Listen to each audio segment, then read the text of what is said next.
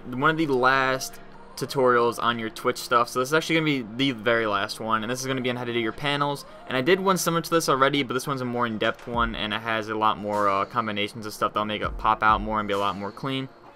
So, uh, before I start this video, if you guys do not want to make any of this stuff, if you guys hop over to my Sellfy right now, you guys can purchase everything that I've been making in these tutorials lately. And then once this video is up and done, I'm going to be uploading a everything pack for these, and you guys can just download that as well. So, uh, go check this out go buy something, it goes towards my YouTube channel, goes towards everything else. So uh, basically how to start this off is this is what the really the uh, final image looks like until we just take off the background and we add it to Twitch. And it's not hard to do at all. All you guys are going to need is my stock pack and that's pretty much it. You guys can use any layer styles you want. You guys can use any font you want. It's pretty much all up to you guys and let's get right into it. So first thing you guys want to do is open up the stock pack. So if you just hop over to wherever just open it up. You guys are going to be left with this folder just full of stocks and stuff. And you just want to open up the orange light one and then leave it there. And then you want to go over to this. So you guys want to make a new document. I think it's... I'm not going to try to figure it out. It's a really weird font. Oh, or weird pixels. 325 by 65 and then that's pretty much it. So after you make that, you're going to come out with this really long rectangle like this. And you guys can pretty much just delete this stuff or delete if you guys were buying it and then you guys can remake it or whatever. So uh, basically what I like doing first is just taking the background and then making it like a darkish gray and making the rectangle you want to add your stuff onto black. So don't make it too big because you guys are going to be cutting it and center it. Maybe make it a little bigger.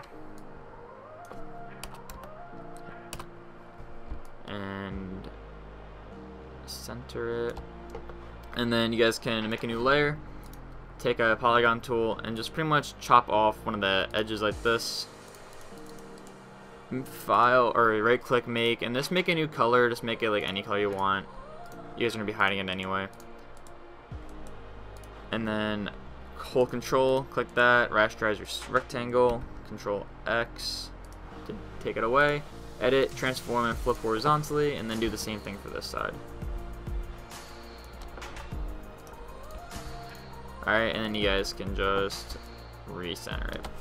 So basically, next thing you guys want to do is add your stock. So just pretty much bring it over here, and then add it, and then just zoom out right away. And basically, when you zoom out, oh, it's even bigger than that. When you zoom out, you guys are going to need to make it smaller.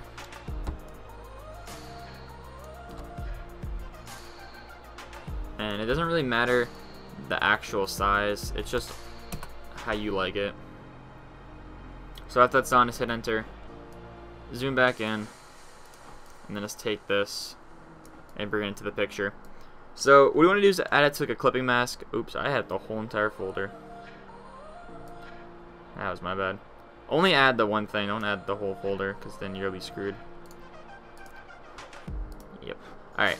We're going to do making clipping mask, hold Alt, just clicking on the rectangle, and then you guys can pretty much change it to any color you want. I'm going to keep following the blue, like the blue feel to this, and then just take your opacity and lower it down to about 40 or 50.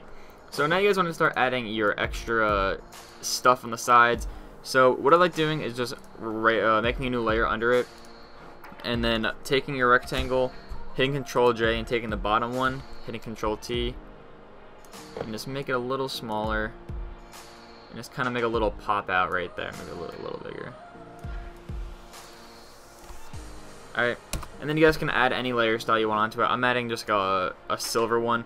But when you guys are adding it make sure none of them have a drop shadow. Because the drop shadows will ruin the whole entire thing.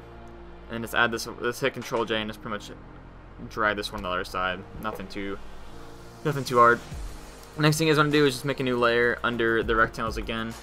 And just click right here in this corner and bring upwards and then bring it in the middle. And you guys are seeing you guys are doing like basically the same thing that you guys were doing for everything else. Just make it any color and add that layer style into it again. Taking off the drop shadow. Control J. Flip horizontally. And then you guys can just drag over here. And then you guys have that. So if I go back to this, you guys can see that's pretty much almost everything that I've done.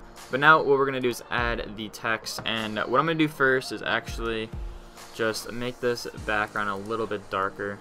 Actually, I'll probably, I'm going to put like a tint to it too. Make it a little darker, add a tint, and then you guys can start fiddling with your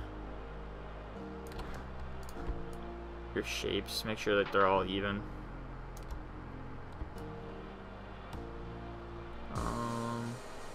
That's that's pretty good. So phone went off. Sorry about that. So next thing you guys want to do is pretty much add your text, and the text isn't too hard. Obviously, you just put your little text tool, and you guys can put it to anything. I'm just gonna put it to your text. Actually, I'll put it to template. Make it white and then just put it above everything because you guys aren't going to need it. So after that, you guys can just pretty much throw this into the middle. It should lock down the middle somewhere. There it is. And then you guys have this centered. Um, really, the only thing else you guys can do with text like this is grab your pen tool, click in the bottom right hand corner, and then click on the top and make like a little curved, uh, little curved object, and just fill it up with like a black or something, something dark, and then just delete the path, and then make another clipping mask holding Alt, and then just dragging it on. And then lower the opacity to like 13, and it just creates a nice little gradient. Or what else you can do is add a layer style into it that has already a uh, gradient put onto it. So now you guys have this done, next thing I'm to do is just right click on your rectangle again, put an inner stroke on, or inner glow or inner stroke, doesn't matter, of a white, and just kind of put the opacity to like soft light and then you guys can turn the opacity up to like 65 nothing too crazy and then you guys can start adding your shadows. So these shadows are actually pretty important when you guys do these. And what you want to do is just make a new layer. Keep that background on. And then do these in sections. So I'm gonna do the bottom first. If I click right here in the bottom right hand corner go down a little bit hold shift go down a little bit hold shift go up a little bit shift up a little bit. And then you guys can bring to the side, and then you guys can fill it with a black color. And then lower the opacity to like 20s or 19s. So then you guys can scroll up, and then make a new layer above everything. And then add the shadows right here. So you go out, and then down to right to this white thing, and then go back up. Fill it with a black color, and then put this back to like 20s. Control J, right edit, and flip horizontally. And then you guys move this over here, and you guys are pretty much set. So basically, that's almost it. The only thing else you guys could do is add your logo in the background. Other than that, there's really nothing else to add.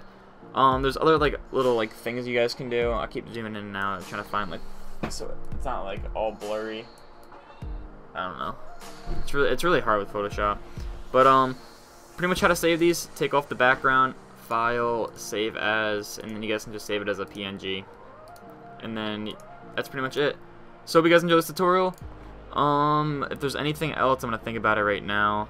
Um, definitely check out my Sellfy. Also, thank you guys for 5,500 subscribers. And the last thing, that my computer will be here in three days and I'm super excited. I've been making a video on that. So this to be my last tutorial before the computer comes. So this is hope to see you guys in the next video. If you guys like this, leave a thumbs up, and also the full Twitch revamp will be in the description below to download. I'll see you guys in a little bit. Peace out.